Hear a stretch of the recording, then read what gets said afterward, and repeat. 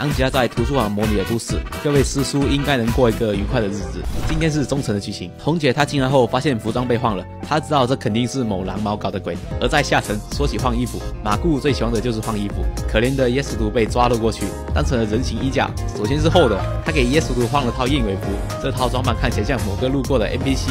耶稣图对此的评价是：这感觉很新奇。马库库也给耶稣图换了套服装，这全新的耶稣图亮瞎了众神的眼。如果没有卓尔方的势力，想必认不出这是耶稣图。马库库听后很伤心，大家给他个三连吧，不然可怜的东皇店主又要被暴打了。回到忠诚这里，此时 t i p l e 对这装扮很抱怨，怎么给他写了套小孩子穿的衣服？妻子说这样也不错。他发现了个好地方，刚好人齐了，他邀请两人一起过去。听到他说的好地方，两人第一反应肯定就是咖啡馆，但妻子表示不是，是一家游戏店。红姐对于游戏店不太懂，她没见过 t i p l e s 也没见过，两人都表示不太想进去。妻子听后邀请两人一起进去 t i p l e s 很明显心动了，红姐则是好奇朝着造物。来到游戏店，其实让他们两人选择一个游戏类型。然而红姐表示自己只会砍人。店员听到后，他说刚好有个砍人游戏，又恰巧刚好是一家人砍人的回合制游戏，这游戏非常适合三人。其实表示就玩这个吧。